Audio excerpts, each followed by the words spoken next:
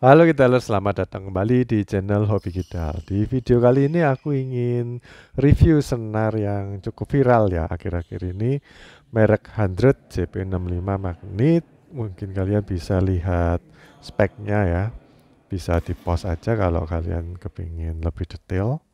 Oke di sini aku yang pakai baju biru yang kidal dan ditemani oleh Kosandi yang pakai baju merah. Di sebelah sana ada Erik dan Dito. Oke, kita bahas bentuk fisiknya dulu. Yang pertama, dia made in Japan.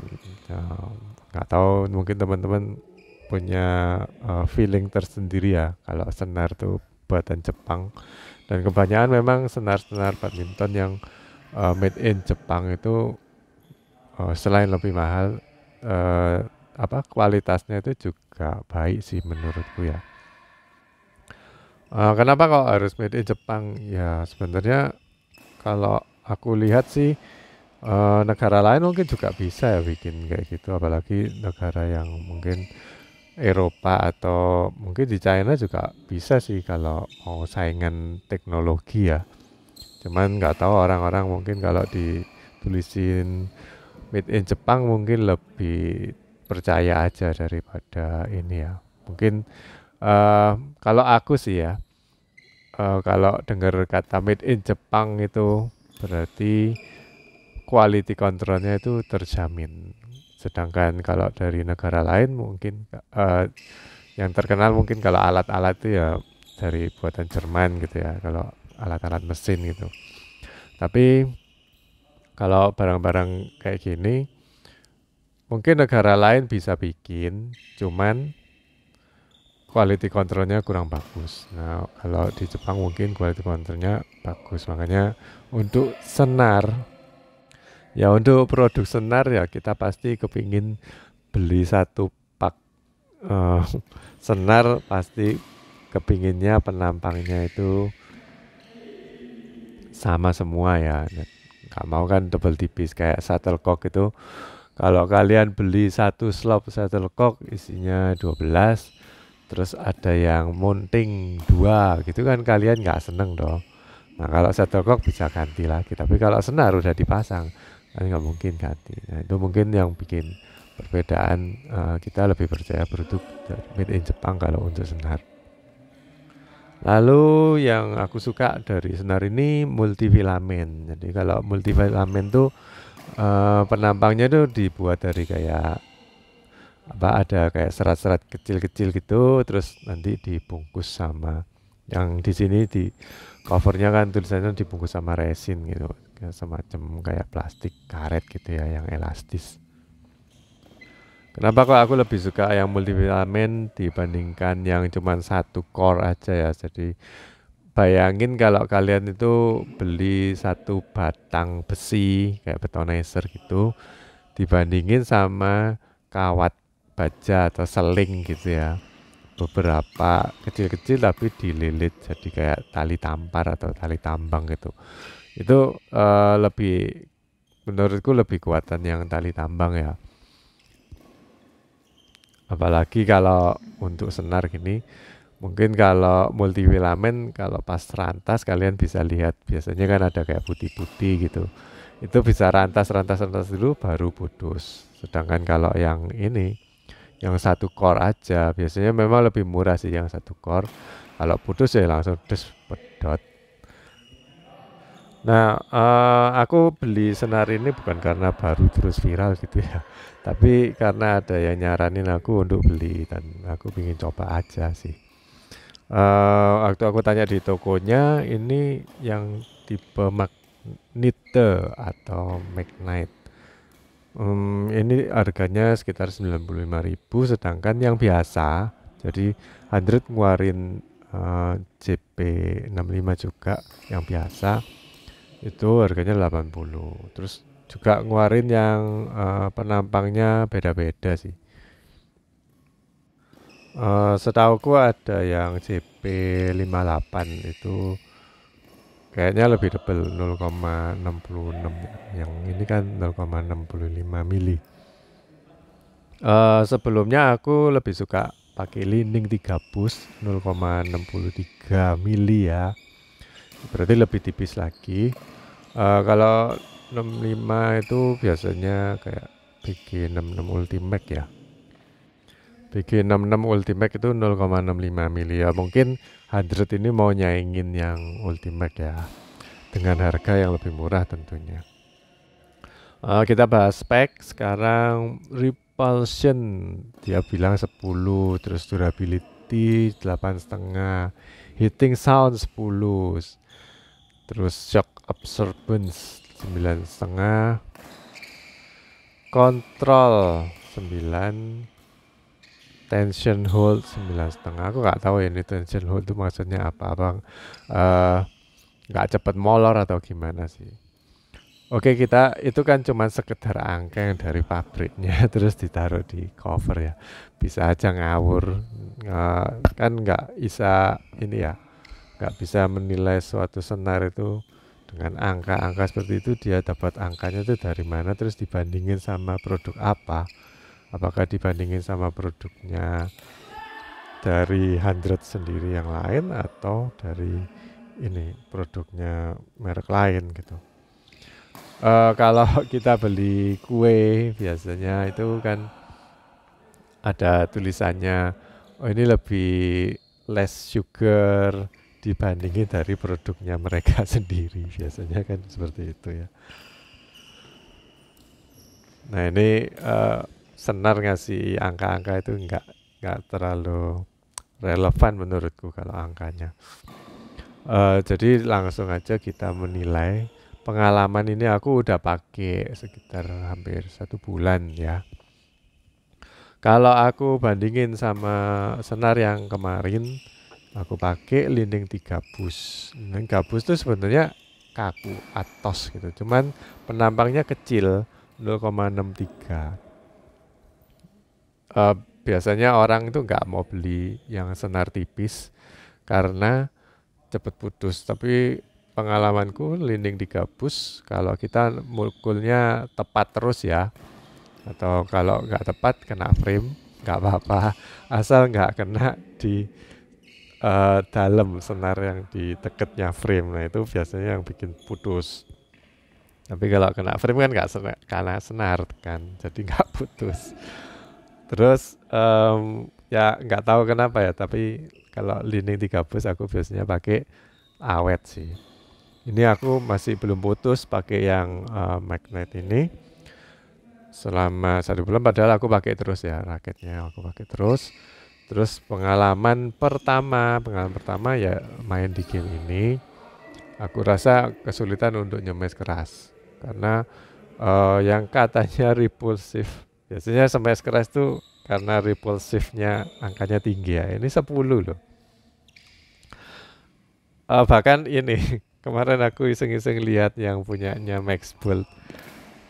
Mungkin ini ya nilai tertinggi 10 harusnya, tapi dia ada kayak speknya itu nilainya 11. Nah, itu kan makanya aku nggak percaya kalau ada angka-angka menilai senar dari ini ya uh, ratingnya gitu. Uh, kembali lagi repulsifnya dia bilang 10 padahal nggak terlalu repulsif. Kalau aku bandingin sama dulu zaman-zaman aku pakai BG66 Ultimax ya Ultimax itu udah kayak senarnya segala umat dan segala atlet. Kayaknya lebih cocok pakai Ultimax itu banyak yang cocok gitu. Tapi uh, karena harganya mahal jadi hmm, it's not an option buat orang-orang yang hmm, main badminton cuma sekedar hobi ya bukan atlet. Dan nggak nggak perlu ini sih nggak perlu kayak kontrol yang terlalu wah gitu. Ya repulsion tinggi ini juga berpengaruh buat ngelop kalau kita ngelopnya jauh biasanya kalau tangannya nggak seberapa kuat itu dibantu dengan repulsion yang tinggi bisa sampai ke belakang. Untuk repulsionnya dia bilang 10 itu kalau penilaianku ya reviewku aku rasa ini termasuk 9 enggak enggak 10 enggak enggak bagus-bagus banget gitu. kalau dibilang 10 sama pabriknya yaitu uh, menurutku terlalu melebih-lebihkan karena ada senar-senar lain yang aku rasa repulsionnya lebih terasa sepuluhnya. Lalu untuk uh, review durabilitas aku skip ya soalnya kan masih belum putus. Jadi aku nggak bisa menilai tahan berapa lama. Terus hitting sound hitting soundnya karena senarnya lebih tebal dari yang lining di gabus jadi aku rasa hitting soundnya sedikit melempem dari yang lining di gabus yang lebih. Itu tergantung ini sih. Kalau uh, menilai hitting sound itu tergantung dari raket kalian juga. Karena ada raket-raket yang uh, kalau di senar sama terus dicoba ting ting ting itu ada yang melempem ada yang enggak. Itu karena raketnya kalau menurutku balance terus resonance ya. Jadi uh, pabriknya bikin kayak framenya itu bagus. Biasanya bunyinya enak bunyinya keras. Tapi kalau uh, mungkin kurang pas atau nggak cocok sama senarnya bunyinya nggak enak. Jadi uh, hitting soundnya juga kalau dicoba ting ting ting ting itu ya. Aku rasa itu cuman ngetes resonansi aja. Dan kalau di lapangan itu aku coba untuk smash memang suaranya keras. Tapi tergantung titik smashnya kalau pas di tengah ya suaranya keras. Ya mungkin uh, ada beberapa pemain yang preferensinya nyemes itu beda. Kalau aku dulu di waktu training kan zamannya raket yang bukan isometrik, raket telur namanya, Carbonex itu salah satu raket telur. Sama coachku disuruh mukul nggak pas tengah, nggak di hit uh, sweet spotnya yang benar-benar di tengah-tengahnya frame itu tapi agak ke atas dikit. Nah, waktu aku nyemes biasanya kenanya memang di situ. Tujuannya supaya lebih tajam. Dan karena dulu kan senar itu enggak ada yang tarian sampai 30-an atau tarian tinggi kan. Nanti kan patah. Kalau terakhir aku lihat speknya di Carbonic 8 itu cuma bisa ditarik 18. Jadi zaman dulu uh, untuk menyiasati kendor senarnya yang kendor kalau dipukul di sweet spot itu nanti bakal uh, ya nggak keras gitu makanya sama kosku disuruh mukul agak lebih atas biar dapat senar yang uh, lebih kenceng kan tariannya lebih kenceng kalau deket di atas gitu nah senar ini senar uh, 100 ini kalau mukulnya agak pas di tengah-tengah itu suaranya nggak keras. Ya mungkin karena tanganku juga ya. Tapi kalau dibandingin sama yang linding tiga bus, waktu aku ya orangnya sama yang nyemes ya pasti titik pukulnya kira-kira sama ya. Itu lebih keras suaranya. Jadi untuk hitting sound aku nilai juga 9. Atau mungkin uh, ya 9 oke okay lah. nggak perlu kasih setengah-setengah. Terus shock absorbance. Nah, ini aku menilainya gimana ya? Kalau mungkin dari uh, kan tanganku sempat cedera ya waktu aku pakai raket ini dengan senar ini hmm, awal-awal mungkin terasa lebih cepat pegel ada di bagian forearm forearm itu setelahnya siku ya itu ada kayak lebih sakit. Padahal sebelumnya aku nggak merasakan seperti itu. Yang sakit kan di tenis elbow ada di siku. Nah ini kok merambat mulai ke arah sana. Tapi uh, tenis elbownya jadi lebih mendingan. Apa bisa dibilang nilai shock absorbance-nya dari situ ya aku kurang tahu ya. Cuma aku nggak berani nilai yang untuk kategori shock absorbance ini. Lalu untuk kontrol, nah, kontrol ini yang gampang gampang-gampang susah menilainya ya. apa yang dimaksud dengan kontrol? Nah kalau cuman kepresisian aku rasa itu tergantung dari tarian. Tariannya kalau kuat tarik tinggi kalian harus lihat juga sih ini senar bisa ditarik berapa. Karena yang tipis-tipis biasanya kan putus ya kalau ditarik terlalu tinggi. Jadi kalau tarikannya tinggi pasti lebih presisi. Tapi buat kalian mukulnya mungkin lebih berat kalau tangannya nggak kuat. Tapi yang aku mau uh, garis bawah ya kontrolnya yang katanya 9 menurutku kurang sih. Nggak nggak sampai 9 bisa aja cuma 7 ini aku dapat dari awal-awal aku pakai senar ini ya. Waktu ngenet banyak yang nanggung karena um, menurutku kontrolnya itu dari ini. Kalau senar itu kan ada bungkusnya yang paling luar, yang biasanya warnanya beda ya. Kalau kalian pernah pakai senar terus habis dipakai itu kelihatan rantas kan kelihatan putih-putih gitu. Jadi senar yang di dalamnya yang multifilamen warna putih, yang di luar kan biasanya kalian minta warna kuning atau warna merah gitu cuman pembungkusnya aja kayak kabel gitu. Nah pembungkusnya ini biasanya kalau yang punyanya Yonex itu ada di salah satu channel dari luar negeri juga. Mungkin dia kerjanya di bagian lab ya. Jadi di zoom atau di uh, mikroskop penampangnya itu kasar. Jadi kayak ada lubangnya kecil-kecil. Nah itu yang bikin lebih gripping jadi shuttlecocknya itu uh, kalau kepala shuttlecock ketemu senar itu lebih kasar kayak kasarannya ini ya pakai amplas gitu. Misalkan ada shuttlecock datang terus kalian pukul dengan amplas yang ditempel sama ke bednya pingpong misalkan. Nah itu pasti lebih gigit lah soalnya kan lebih kasar dibandingin sama benda yang licin kalian coba untuk uh, muter shuttlecock di kepalanya shuttlecock itu beda nanti uh, hasil pukulannya. Ini yang aku rasakan ya. Jadi waktu di net ketika aku biasanya kepingin kayak nge-slice kan biar muter itu shuttlecocknya itu biasanya kalau muter itu sulit untuk dikembalikan sama lawan ya. Itu kalau muter berarti grippingnya itu bagus. Tapi kalau nggak muter grippingnya aku rasa kurang bagus atau licin. Nah, ini senar ini termasuk yang licin. Jadi waktu aku mau nge-slice itu bukannya malah bolanya muter tapi malah mumbul.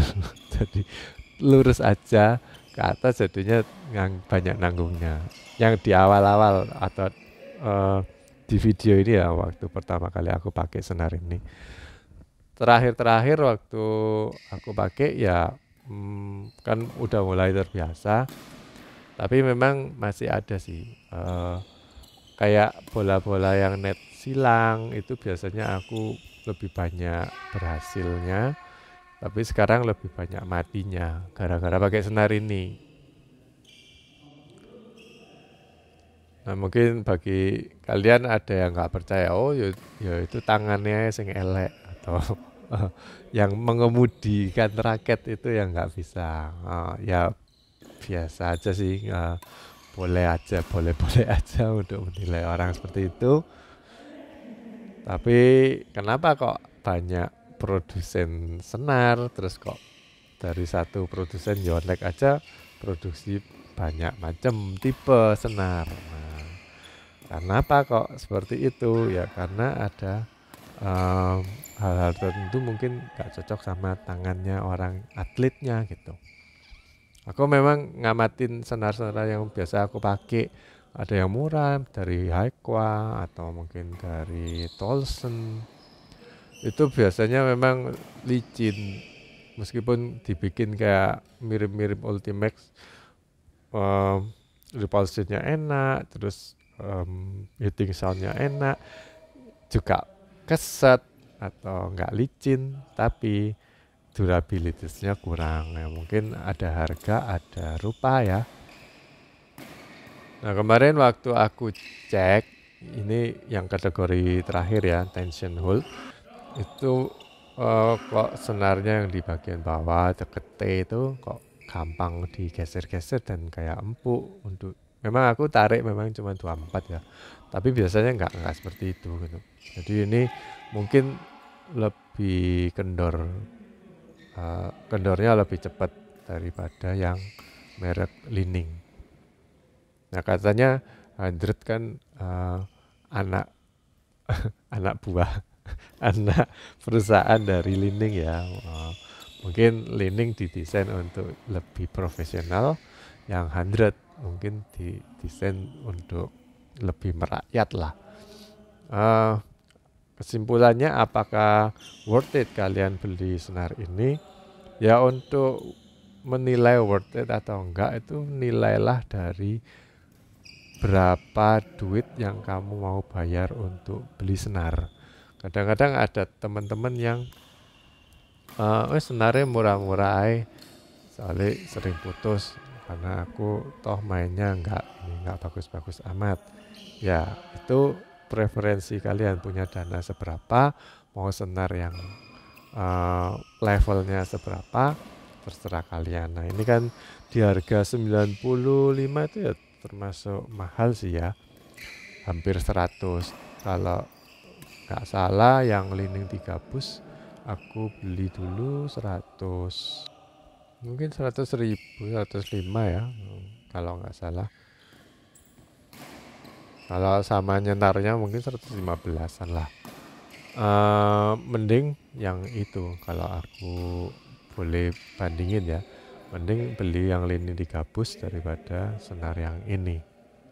Uh, kalau di sini ya memang keunggulannya buatku ya uh, cuma nyemes-nyemes aja. Tapi yang lainnya kayak kontrol ngedrive terus naruh-naruh bola yang halus-halus itu uh, agak sulit untuk dikontrol nah kalian kalau mau uh, pakai ini ya kalau kalian udah nemu senar yang kira-kira lumayan enak, terus awet, coba pakai itu aja terus. Nanti lama-lama kan tangannya terbiasa. Kecuali kalau mau nyoba merek-merek lain yang baru-baru ya. Ini kan eh, nggak uh, bisa disamakan sama kalau kalian milih raket atau beli raket tuh mungkin lebih telitian beli raket. Kalau senar ya, kalau putus ya itu udah wajar lah.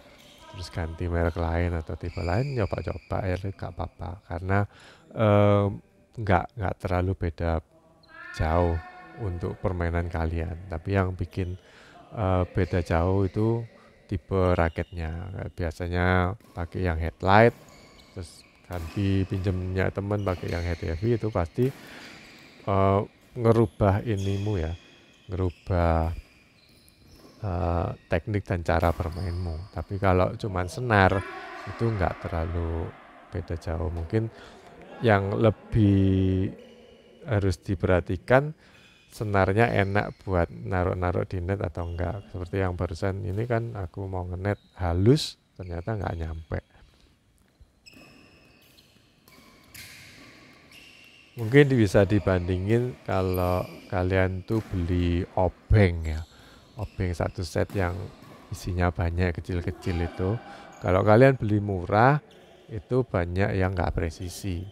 Tapi kalau beli mahal itu presisi semua. Nah kalau milih senar juga seperti itu.